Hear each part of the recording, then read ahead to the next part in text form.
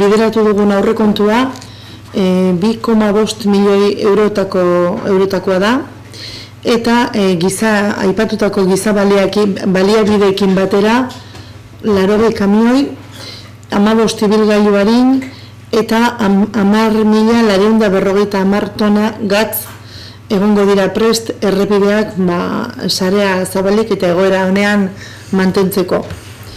Balio bide horiei, e, ba, gizute balio gehienak esan dudan bezala e, Gipuzkoako foru aldundikoak direla, guriak direla, baina balea bide horiei gehitu behar diogu ba, jaurlaritzak e, jartzen dituen bi garabiak, e, N bat eta A mabost errepideetan e, bueno, ibilgailu astunek arazoak izan ezkero, ibilgailu horiek erretiratzeko eta eta garabi hauek oso garrantzitsuak izaten dira, hauek dira Eusko Jorraletzak aportatzen dituen e, baliabideak nola ez ertzaintzarekin batera, ertzaintzako e, agenteekin batera. Deialdi egin nahi dugu gipuzkor guztiei, ba, horrelako egoeratan negualdian eta izotz eta elur egoeratan ba, kontua izan dezaten e, norbera kontua izan behar du, e, alik eta gutxien e, irten errepidetara, e, irten ezkero e, kotxeak, autoak, kamioiak ba, behar bezala e, egoera honean izan beharko lituzkete bai erroberak, bai balastak eta gainontzekoak erregaia deposituan, nahiko erregaia deposituan izan, Eta, e, bueno, askotan, e, bueno, elurra dago eta ze polita da, eta juten geha, ba oso e, bi, irisgarritasun zaila duten lekuetara. E, deialdi egineko benuke arduraz jokatzeko. Como ha dicho Aitzane, tenemos 80 camiones, eh, 80 camiones, 50 del Departamento de Infraestructuras Viarias, eh, 22 de Videgui y 8 de los bomberos.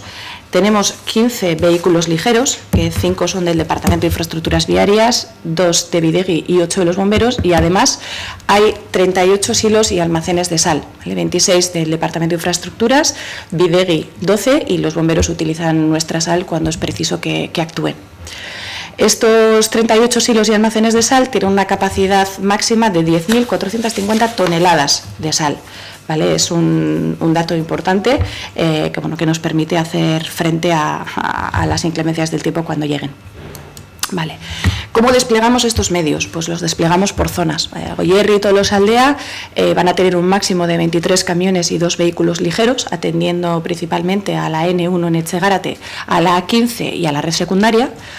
Urola y Deva van a tener como un máximo 21 camiones y tres vehículos ligeros para atender pues, una serie de puertos en los que podemos encontrar pues, eh, Arlabán, Campázar o, Descarga. Eh, bueno, aquí cabe destacar que, los medios de descarga han pasado del puerto viejo al, nuevo, ¿vale? desde que se ha abierto, desde que se ha abierto el, túnel de, el túnel de descarga. Y el puerto antiguo pues, bueno, se queda como una carretera secundaria. Eh, y luego tenemos otros seis camiones como máximo para Vidasoa, Uarsaldea y Donostialdea, que cubren Gainzurisqueta, la N121A y la red secundaria. Estos son los medios de la red del Departamento de Infraestructuras Viarias. Luego tenemos los de Videgui y Bomberos. Eh, Videgui tiene 12 camiones y un vehículo ligero para, para la P8, que están principalmente en el Alto de Orio y Arzun y el Alto de Itziar. Tiene 10 camiones y un vehículo ligero para cubrir el tramo Escoria-Chaluco y luego los bomberos tienen ocho camiones y ocho vehículos ligeros que cubren ocho zonas.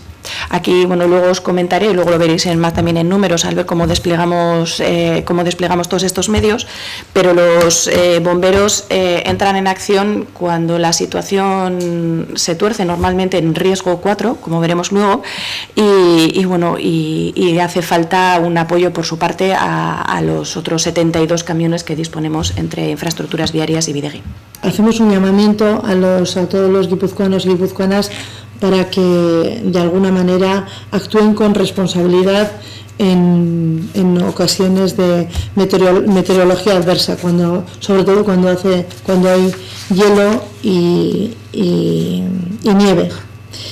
Eh, es una responsabilidad que deberíamos de tener todos y es muy bonito pues eh, muchas veces ir con los niños a la nieve y demás, pero tenemos que, obrar con responsabilidad a la hora de acceder a sitios de difícil acceso, valga la redundancia. eh, hacemos un llamamiento para que la gente, en ese sentido, pues cuando se den estas circunstancias, eh, obre con, con responsabilidad.